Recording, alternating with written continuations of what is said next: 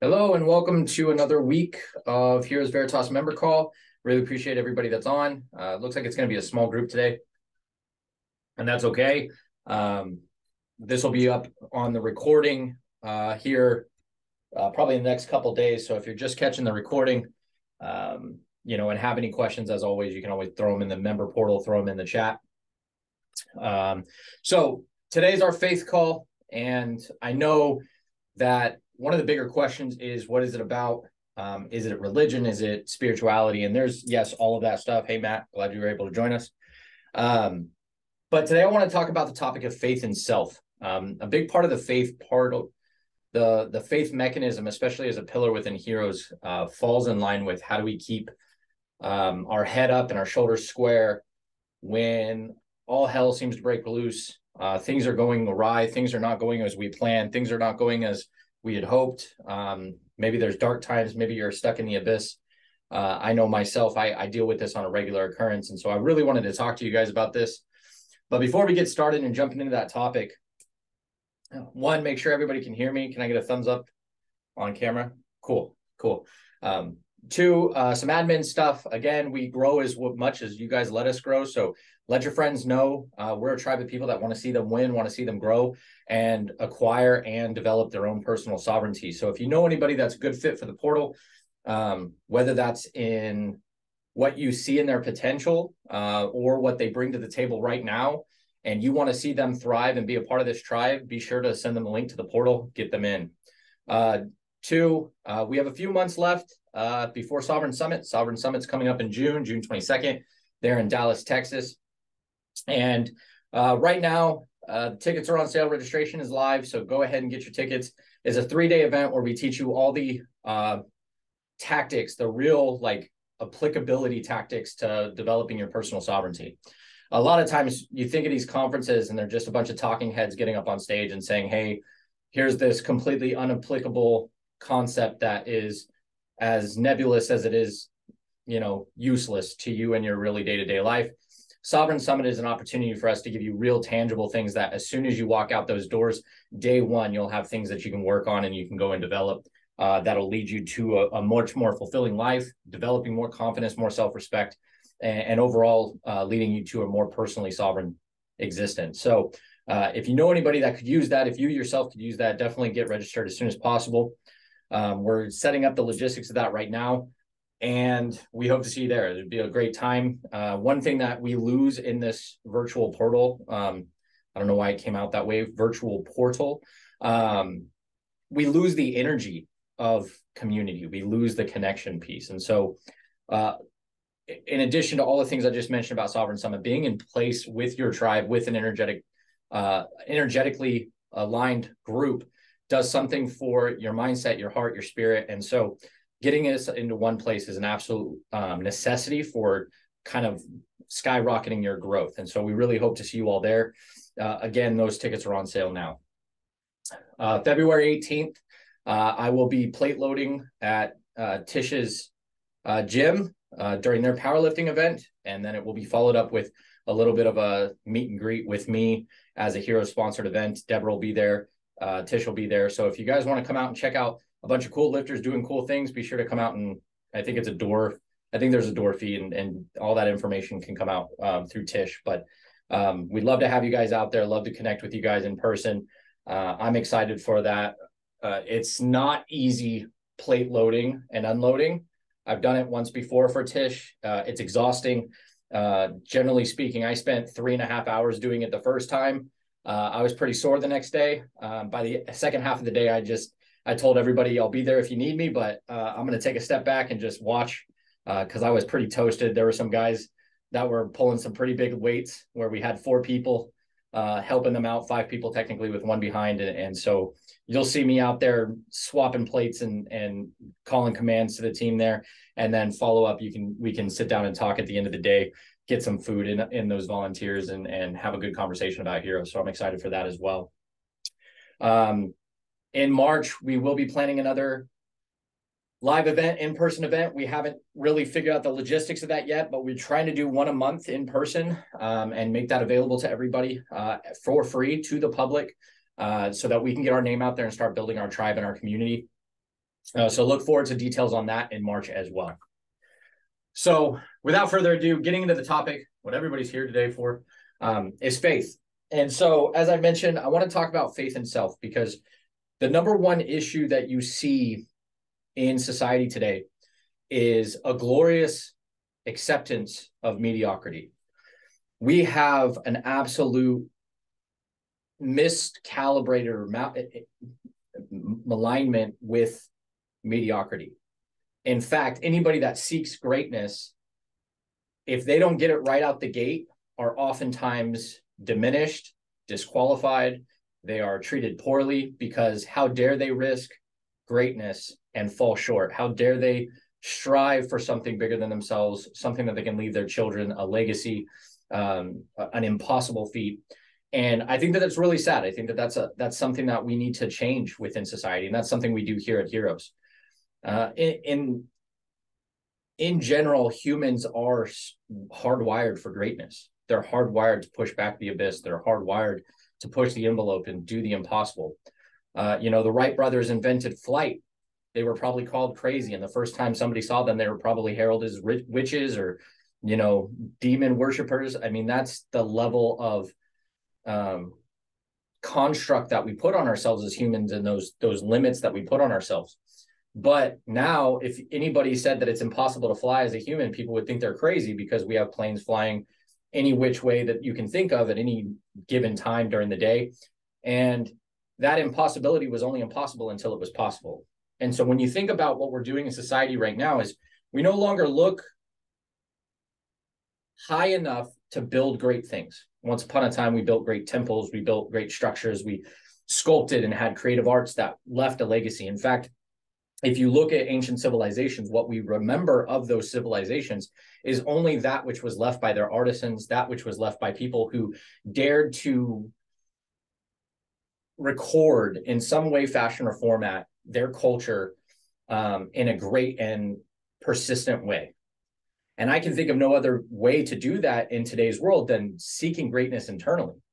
And so we have this idea, this construct that if I get a good job and I work till I'm 70 and I burn myself out and then I retire on maybe $3,000 a month with, you know, whatever, that's the life. That's that's winning. That's success, right? And and I challenge each and every one of you to think about that a little bit deeper. Is that really success working for 65 years to retire on $3,000 a month and waste away inside of some hospital because you really don't have anything else to do. You've retired, you have no hobbies, and then you give way to depression and abyss. Those who have been around people of greatness realize that their biggest fear is regret. There and that it isn't so much courage that pushes them to do great things, it's fear. They fear being average. They fear wasting a life. They fear having regrets. And that fear drives the courage because it's not so much that they're braver than you, it's just that they realize that they're more scared of the alternative than you are. And so, as we calibrate what we believe is possible, what we believe is great, what we believe is even feasible, we have to look at it from that perspective is what are your items? And Matt and I have talked about this quite a bit. Like, we don't do bucket lists, we do to do lists. Bucket lists are where ideas and dreams go to die. Like it is literally a place where you can put a pen in it and say, one day, someday, when everything's perfect, when things happen. And the reality of that is that day will never come. That someday is always the next day. That that when everything's perfect is there's one more thing you have to get right. So bucket lists are where dreams and visions go to die. Make a to-do list and give it a date. And so in order to do that, you have to have that strong faith in yourself. And maybe it's, I fear having regrets. So I have to have faith in myself because otherwise I will have those regrets. Right. So when you have those things taking place in your life where you're feeling a, a, a pull and and I'm I'm gonna I'm writing my book right now and so this is very fresh in my mind. One of the things that is part of the hero's journey is the call to action. And what we've done as a society is we've suppressed the intuition that we feel towards that call to action. And over time, we ignore it. but it keeps popping up. Every once in a while, just it snaps us awake when we're sleeping. We'll be in a daydream, and all of a sudden we're like, man, I wish I did this. 20 years down the line, 30 years down the line, 40 years down the line, we're sitting there in our office typing away with poor posture, miserable as all hell because we're sick all the time because we have no fucking function because we haven't done anything with ourselves, wondering how we got to that point. Well, that place is born from repressing that call to action. Whether you repress it from fear of failure, whether you repress it from fear of judgment, whether you repress it because you know something in you said it's not possible I challenge each and every one of you to seek that call to action again. Sit with it. Sit outside at night with nothing. Don't bring your fucking phone. Don't have the radio on. Just sit with the sounds of the evening. And some of us, that's the sound of the freeway. Some of that's that's the white noise of crickets and and frogs. Um, you know, where I live, there's a slough in the back uh, behind my house, and that slough is a breeding ground for frogs. And so right now they're all breeding, and so all I have is just a deafening sound of croaks and and hollow sounds from frogs in my backyard. So last night when I was sitting out there, I had a full moon. Uh, the lights were all off, and I just sat in the back and listened to the frogs. But in that moment, I realized that there were certain things that I was avoiding, um, like my book, because I was afraid that once I wrote it, I couldn't go back and change it. Right? If my ideas change, if I grow, if I change the way I think about things, that book is there forever. But the reality is that's not a really a uh, that's just me fearing failure, me fearing that it's not going to be received well, me fearing that I don't have the capacity to write it.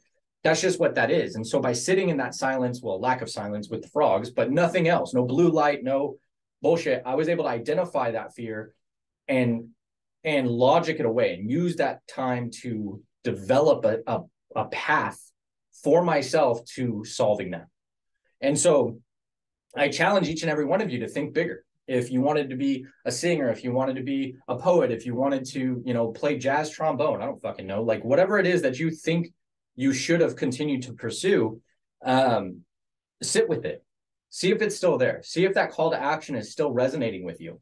And if it is, it doesn't have to be all or nothing. And this is another area that I think causes a lot of doubt for people. They feel that fear of failure because if it doesn't happen now, if it isn't perfect now, if it isn't something that they can automatically step up to and be organically amazing at, well, then this isn't for me. This isn't for me, and I should just let it go because I'm an idiot for even thinking I was possible. The reality is, Thomas Edison failed at making a light incandescent light bulb 1,000 times. And when he was asked about it, and everybody knows this story, he said, I didn't fail a thousand times. I found a thousand different ways not to make a light bulb.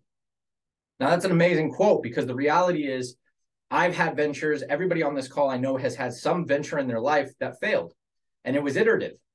But if they cared enough about it, they kept at the iterations. Winston Churchill has an amazing quote, and he says, Success is going from failure to failure without losing enthusiasm the reality is that when you're mining, when you're trying to get from point A to point B, you're going to take wrong turns that don't get you there, but it's going to bring an experience. It's going to level up a skill set. If I'm digging through dirt and I'm missing gold, missing gold, missing gold, and I give up on the fourth swing and that gold's at five, well, then I'm never going to hit gold. Failure is when you quit, not when it doesn't go your way. And when you recalibrate your mindset away from failure is when it doesn't go my way, which is where most of us are calibrated. Excuse me. Most of us are calibrated where failure is when it doesn't go our way, when it isn't perfect, when we didn't strike gold first swing, when we didn't, you know, have the strength right out the gate. But that's a that's that's a poor calibration of success because the reality is nobody has become successful on a single swing. Everybody that you believe is lucky is not lucky. They just kept at it longer than you. And they put in the time and they were willing to fail, right? Another quote that comes to mind the master has failed more times than the amateur has ever tried, right? That that that in itself is exactly what I'm talking about. So when you're beating yourself up over it's not where I want it yet, and Tish knows, um, she soundboards for me a lot. Matt knows they soundboard for me a lot when we're on our calls as steward of heroes, I oftentimes will start to beat myself up because I want speed. I want to develop momentum faster than we're developing momentum. That's on me. That is me setting an expectation that is unrealistic for what we've done. And it's also me robbing myself of the pride and the joy of the progress we've already made. right? We use the app, the member portal app, very, very often now because when we first started talking about the app, we said that it was five years out and $18,000 later. And now we're here. And in three months, we built the app and we presented it to the member portal and everybody loves it. So what we originally calibrated as impossible was not impossible. It was just infeasible at the time. By continuing that conversation, asking the right questions, developing the right tenacity to go after those things, we allowed ourselves to make the infeasible possible. And we did so in a shorter amount of time because we just didn't let it go. We were like a dog with a bone, just never let it go. And when you're developing faith in yourself, that's what you need. You need tenacity, you need grit. And you develop that by every time you get into the abyss, every time you get in the darkness, you just look at it and say, not today. Even if so, in my experience in the military, you have light discipline. Light discipline is something they teach um, because a lot of people don't understand how fast the speed of light truly is. And a lot of people don't understand that when you're in the pitch black of the field, a single cigarette end, the ember of a cigarette, can be seen from three miles away. As long as there's no obstruction, the single end of an ember can be seen from three miles away. That's almost 15,000, almost 20,000 feet that a single ember can be seen by the human eye in the pitch black. So the reason I tell you that is because when you're in the abyss, when you're in the darkness, when you're finding yourself totally and unequivocally fucked, mentally, spiritually broken, it only takes a spark to see that in the darkness. Now, the cool thing about the member portal is when you're stuck like that and you're in that darkness, use the portal because someone in here is not in that darkness and they have enough light for you to see that spark in your darkness. And that's the whole point of the tribe. That's the whole point of the community. That's what I leverage Tish for. That's what I leverage Matt for. That's what I leverage our team for. When I'm stuck, when I feel like Heroes isn't moving or I don't know what I'm doing or I get in my own head and I'm like, man, we should be further. We should be having this. I leverage my team. I lean on my team. And they say, what do you think? And they're like, you're fucking out of your mind. We've done a lot. And that's their light for me. Now I need quite a bit of stern talking because that's just how I'm wired. Not everybody's like that, right? So they can just straight up tell me you're fucking off your gourd and we'll be moving from there, right? Sometimes that'll maybe upset some people, but for me, that's exactly what works. You know, I go to Matt and Tish and they're like, you're off your gourd. And I'm like, all right, so how do we move me back onto my gourd? And we move, right? And we just inch our way further every time. And the number one thing all three of us have said to each other when we started Heroes Veritas is we will not quit. We play the infinite game. Now, I use a quote personally that I share with everybody. Life is the game that can be played, it can never be won. The, the meaning behind that is there's no winning life. There's levels to life. You can reach that level that you're targeting, but as soon as you're at that level, you guess what happens? You find a new level that you want to get to. It could be material. It could be I want a new house, a bigger house, a better car, more status, whatever. It could be more money. It could be more philanthropy. It could be I want to donate more. I want to help more people, right? Whatever it is, every time you reach a level, you're going to hit a new level. And so the damage that we do to ourselves is in between levels. And in between those levels, we start to wonder, will I ever reach that level? And then we quit. But the only thing certain about quitting is that you'll never reach that level. If you never quit, if you never give up, if you persevere through all the bullshit, you trudge through all the mud, I guarantee you it is absolutely impossible for you to fail. It's impossible. Because you're always making progress, you're always moving towards it. The same way that if I want to ruck a 20 mile hike, it is impossible for me not to hit 20 miles as long as I keep moving. It doesn't matter if I move an inch, it doesn't matter if I move a mile, it doesn't matter if I move a foot an hour but eventually I will hit that 20 miles as long as I don't quit. The only sure way to fail is to quit. So it isn't always about faith in self. And, and this is why I'm using all these quotes. This is why I'm saying all these things is we misunderstand faith in self as I believe I can do this all the time, no matter what. And that's what confidence is. And that's how you succeed. It's not. In fact, if you're like that, I guarantee you're probably going to quit. Why? Because it's not going to come easy. Your mindset has already wired you to think that it's right over that next hill. It's right around the, the that next problem. It's it's it's in that next moment, it's in that next choice, it's in that next mistake, whatever it is. You believe that it's that next thing. And every time you get to that point and it's not there, you get further and further down the rabbit hole of disappointment. You get further and further down the tailspin of doubt and dismay and anxiety. So it's not born from having faith in self. It's born from having faith you will not stop. I posted about this uh, yesterday about uh, my day 10 of 75 hard. My day was fucked. Every plan I had went right out the window. I had systems go down. I had to fix this. I had to fix that. I had back to back calls. I had to still handle my stuff. And by 5 p.m., I still had two 45 minute workouts to do. I still had a half a gallon of water to drink.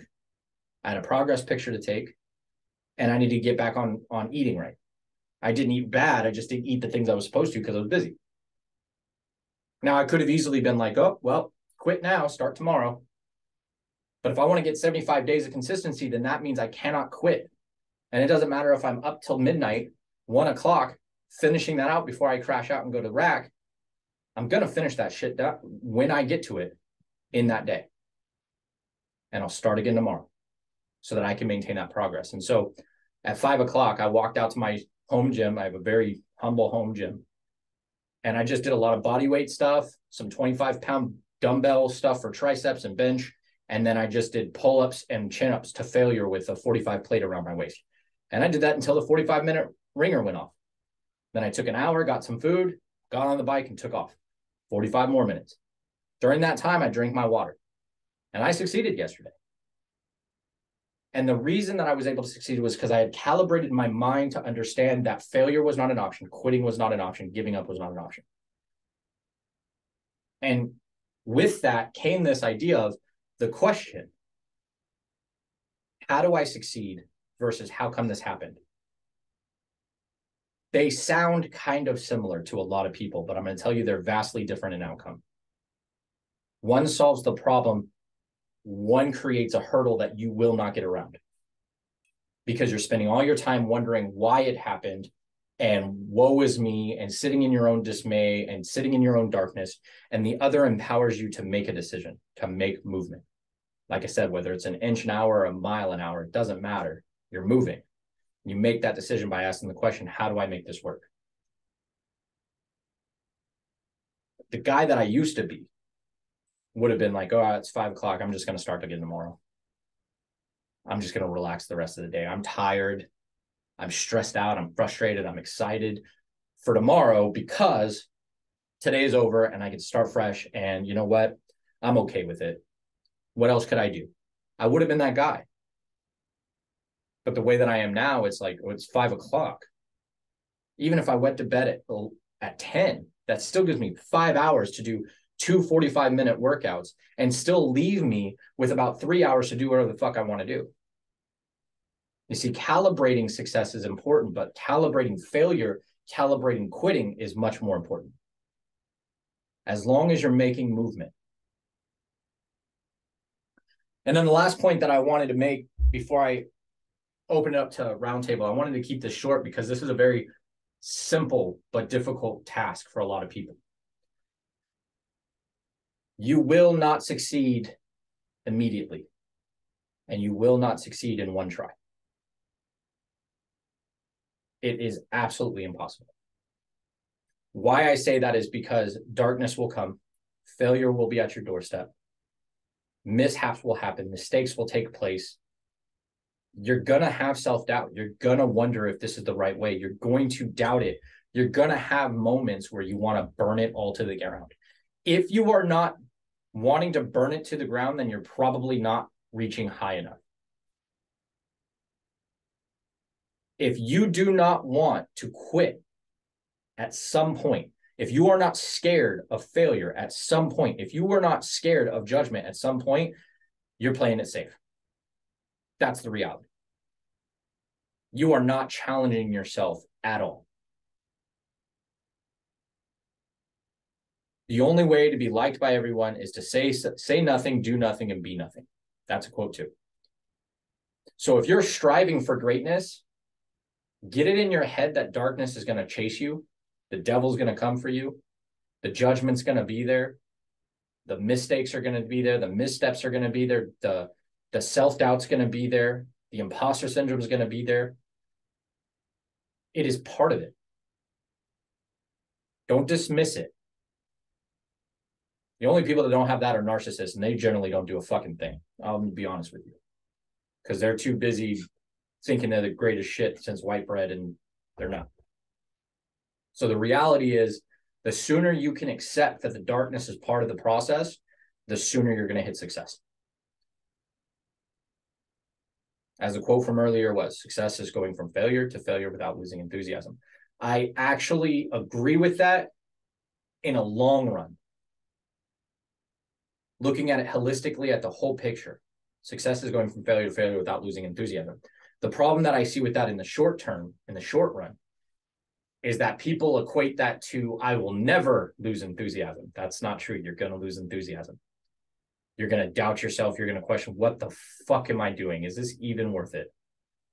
Why am I making my life so hard? Tish and Matt know I ask myself that all the time. I have a great day job. I can literally sit back and just let the checks roll in, do my job. I do it like second nature. It's very easy to me. I can just chill out, hit my retirement, end at 70, maybe 65, relax. But I'm not wired that way. If I was to do that, I can guarantee you I'd get suicidal. And I can guarantee that because I've done it. Some people are wired for that, and that's okay. And it's okay to not want all of this stuff. But if you are wired that way, and if you're part of this group, you probably are wired like that, wired for something more, wired for greatness, wired for something bigger than yourself. Don't let anybody convince you that you're not. Don't let anybody convince you that you should play it safe. Nobody should be able to convince you to turn down your thermostat to teach you that you're not good enough, that you're not capable, that you need to just play it safe. Don't let their cowardice ruin your greatness. Ever. And get a team. Get people around you that when you are in that darkness, and that's what this portal is really for. When you're stuck, when you don't know what the fuck you're doing, which happens to all of us at some point, inevitably when you're reaching for a level you've never been in, you're gonna not have any idea what the fuck you're doing at some point. But mm, when heads are, you know, two heads are better than one, five heads are better than two, so on and so forth, the more people you can use as soundboards, the more faith you're going to have in yourself because you're going to have all these ideas and you're going to have a bunch of people in your back pocket that are not going to let you quit. Because they're going to see the potential in you. And saying that if you have if you're surrounded by people who want you to quit if you are surrounded by people who love to tell you i told you so if you are surrounded by people who love to tell you why you or ask questions like who do you think you are? cut those motherfuckers out cut them out. You don't have to explain fucking nothing to them either. Just stop prioritizing time with them. Because they are holding you back. They are holding you back, they're holding you down, and it's only because they're uncomfortable with your growth. Don't let them destroy your growth because they're fucking chicken shits. I said it when we released this portal. You will find your partner here. You will find your best friend here. You will find the next business relationship here because every single person that's in this group wants to see other people win. They're there asking you why you aren't looking bigger. Our group is here to ask you why you think you should only stop at impossible and not impossible plus. That's what our group is here for. And people that are not wired like that will not last here. They will not last here because they will get very fucking uncomfortable with the way we push for things. And that's the reality. So, with that being said, do we have any questions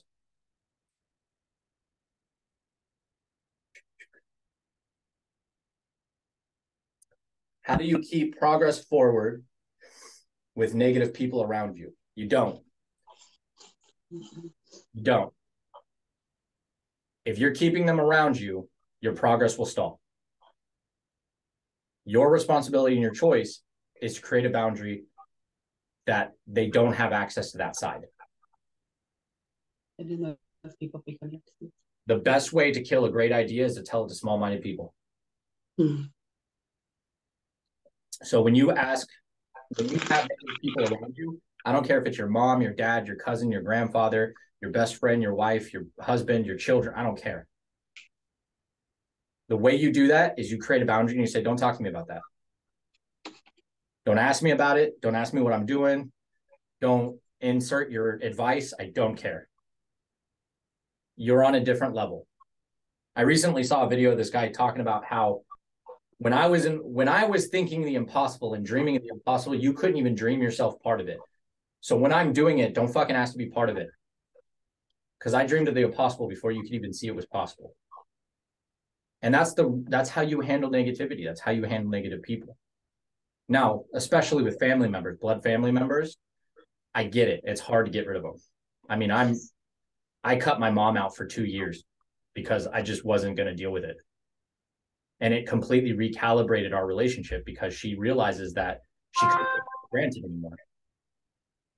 Am I gonna sit uh, here and tell you it was easy? Hell no. That shit was the most. Diff- I wanted my mom. I miss my mom. I wanted to be around her, but she does not get to control my life. And anytime she gets back to that place where she thinks she gets to tell me what to do, I put that boundary back up and I let her know, hey, we're not doing this. You want to continue down this road? You won't hear from me for a while. Negative people are a poison. And I, I use a watering hole methodology when it comes to negativity. One drop of poison can ruin an entire watering hole. One drop. It might be diluted, but it'll always have adverse effects. If you need to, go find a new well and fucking tap that shit with with positive people. If where you're at has got a lot of negativity, get it out of your life. It's not worth it. It's going to hold you back. Can you explain the infinite game versus finite game for personal belief in self? Yeah. Hmm. So finite games have defined rules, defined players, and defined outcomes. That's what a finite game is. Baseball is a great concept, right? I have so many players on the field. I do this to get points. This is how long the game is. When it ends, whoever has the most points wins. That's a finite game. When it comes to self belief, there are no there are no prescribed rules. There's no prescribed time limit. There are no prescribed outcomes. There's no defined outcomes. If you wake up one day and you're like, I want to be great at guitar, and you start playing guitar and you realize, I fucking hate this. This is the stupidest shit that I ever thought I would do. It's okay to just put it down and be like, that doesn't serve me. I'm going to pick up piano instead. Whatever it is, right? Or even more drastically, fuck guitar, I'm going to go snowboarding. I don't know. It does not matter. There's no describe there's no prescribed rule set. So if you don't like something, it's okay to quit that thing if it's not serving you. So when you're looking at the infinite mindset, there's there's two things that really are born out of the infinite mindset when it comes to life. One, you're in complete control. You're in complete control of the speed, the rules, the players, who's there, who's not there, what you're trying to get, what you're trying to achieve, how long it's going to take you to achieve that. That's the infinite mindset. You don't have to. If somebody's like, "Hey, you need to have a hundred thousand dollars in three months," you can go, "Go fuck yourself. I don't care because I'm going to do it in a year because I don't want to give up my time." And that person who's playing that game where they've described their own mindset or they've made their own finite game of, "I need to do it in three months," they're probably fucking miserable because if they don't hit that three months, then they've screwed themselves. Whereas if you just play the infinite game of like, well, I'm going to hit a hundred thousand, I'm just going to keep doing the things until I get there. However long it takes it gets there, I'm just the outcome is I want a hundred thousand. It's a much more enjoyable journey because you're not putting all these confines on yourself and giving yourself structures to uh, demean yourself and destroy your own self confidence and self worth. And so the second thing that it gives you is time time has two ways of looking at time Newtonian time and Einsteinian time. Now, this is getting a little bit more into the quantum mechanics and physics side of the house, but Newtonian side, uh, Isaac Newton came up with gravity. That guy, he's kind of important. Um, he prescribed time as you either have too much or you don't have enough. So you're either wasting time or you're spending time, right? There's only two ways to do it. And what that does is it creates a finite space for you to feel the urgency of time. I don't have enough time in the world. However, in Einsteinian time, it's relativity. So if a minute becomes an hour, an hour becomes a week, and a week becomes a year, then you have all the time in the world. And the best way to think about this is when you're doing something you love. Everybody's done this. Everybody's had this moment. You're at work, you fucking hate what you're doing. That first hour of work feels like an eternity. It's only been an hour, but it feels like an eternity. Then you go home, you spend time with a loved one that you absolutely love, you're laughing it up, and all of a sudden, eight hours feels like 10 minutes. That's Einsteinian time. That is the infinite equation of time. Is if you find something that you can love so much that you can spend countless hours doing it and getting absolutely productive in it because you just get lost in it, that's infinite time mechanism. Then you don't have to worry about your age. You don't have to worry about how much time you have. You don't have to worry about if it's the weekend or the weekday. You don't have to worry about like, do you have five minutes or an hour?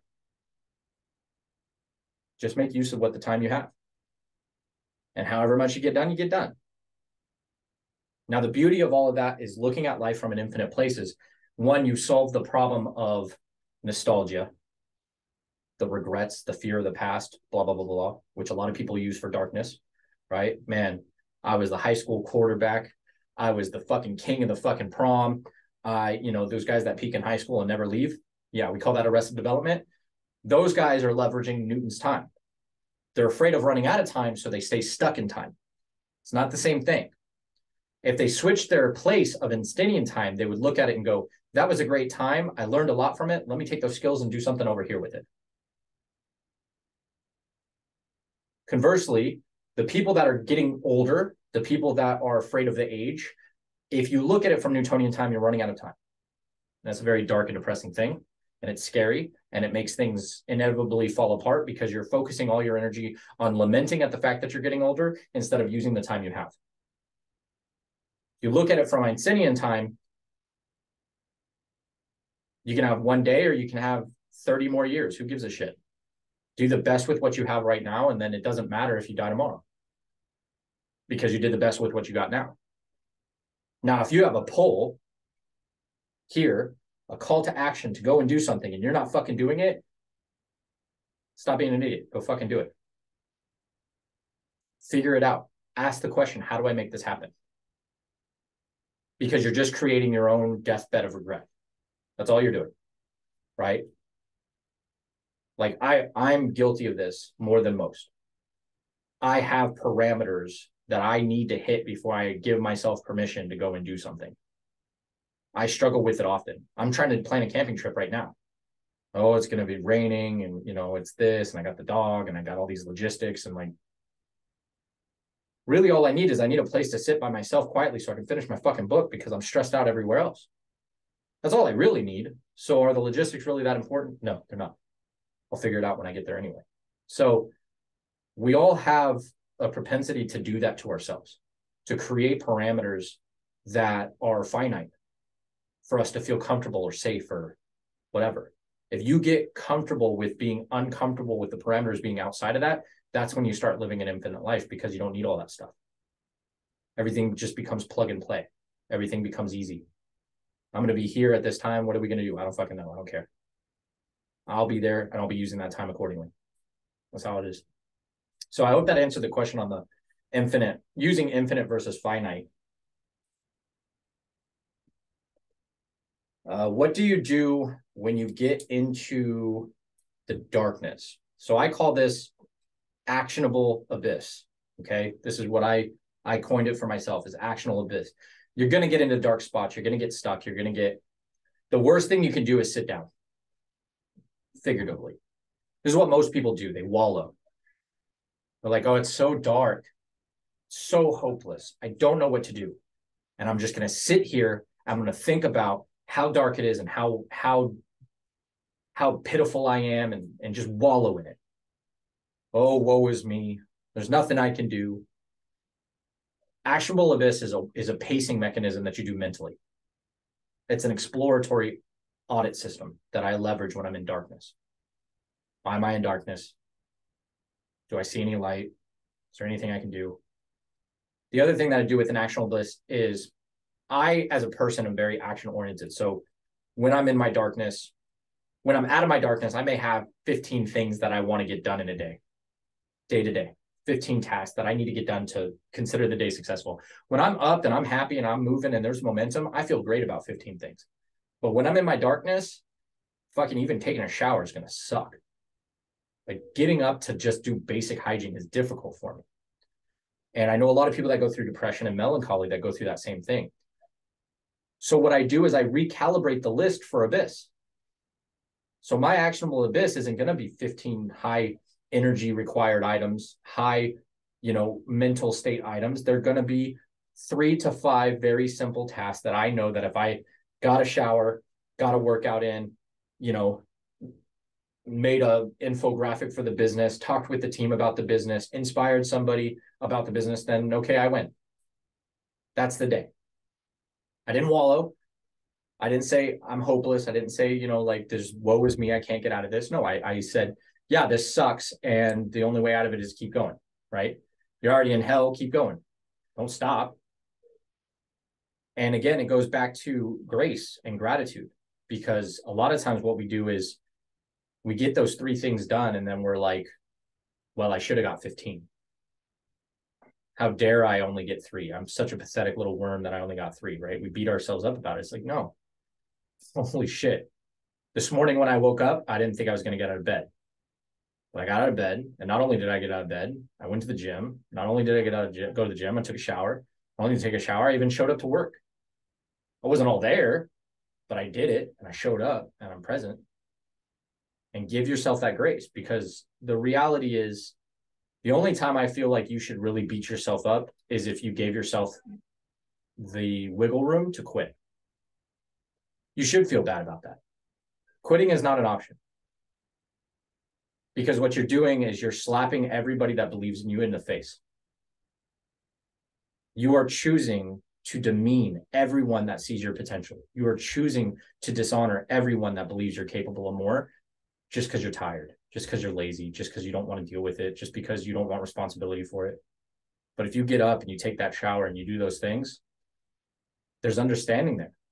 They're like, fuck, dude, you're in a dark place, but you showed up for us.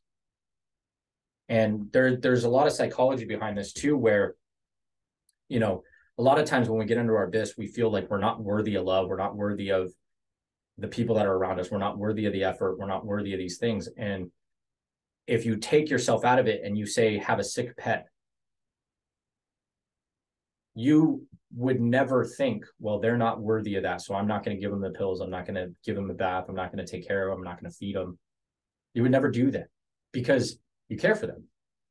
And so if you can't care enough about yourself to do that lean on the people that are around that do care about you and let them know you're going through it now, there's a balance here, and I always talk about it, especially for men when it comes to temperance.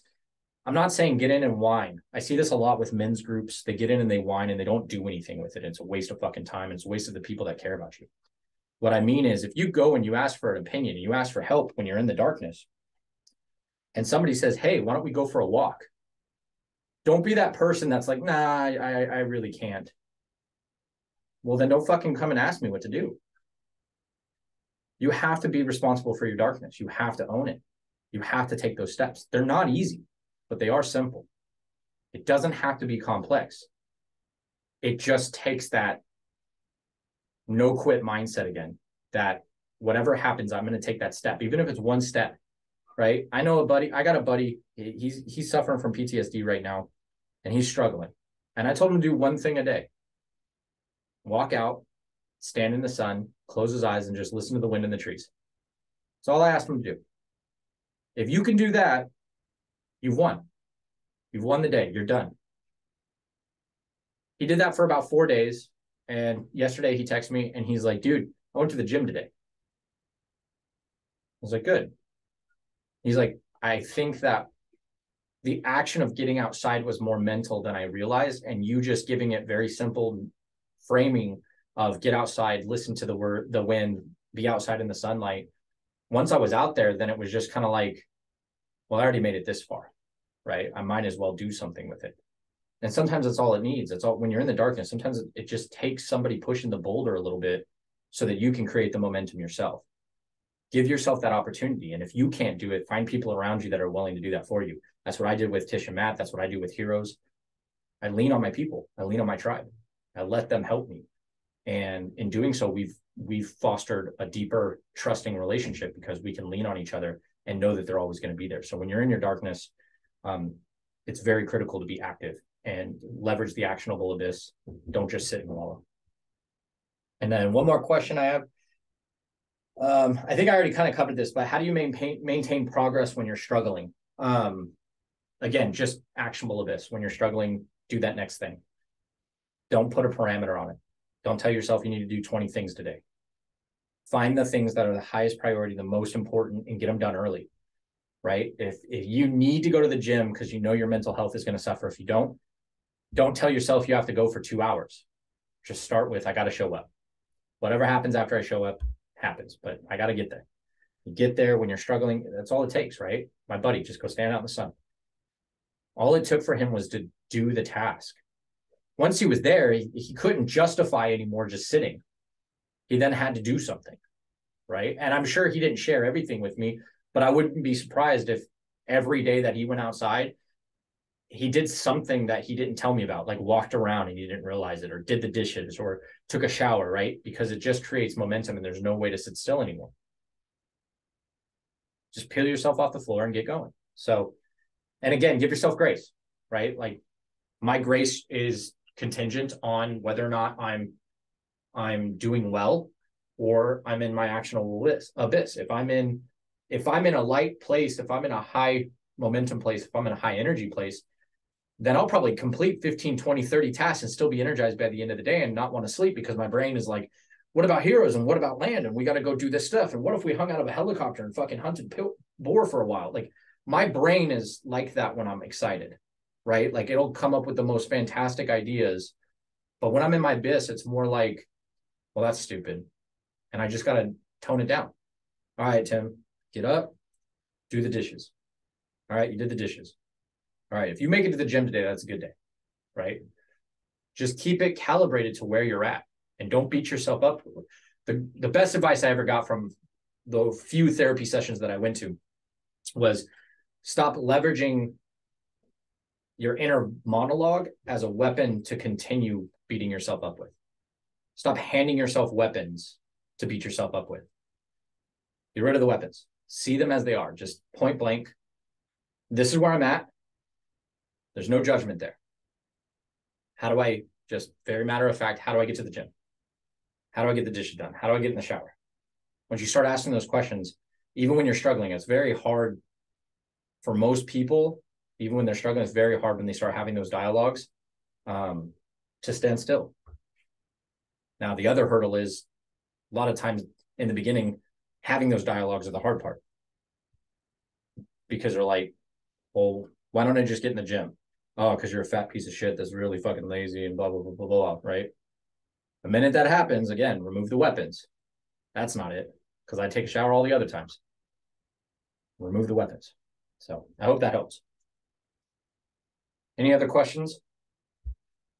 Got nine minutes. Want to be mindful of everybody's time.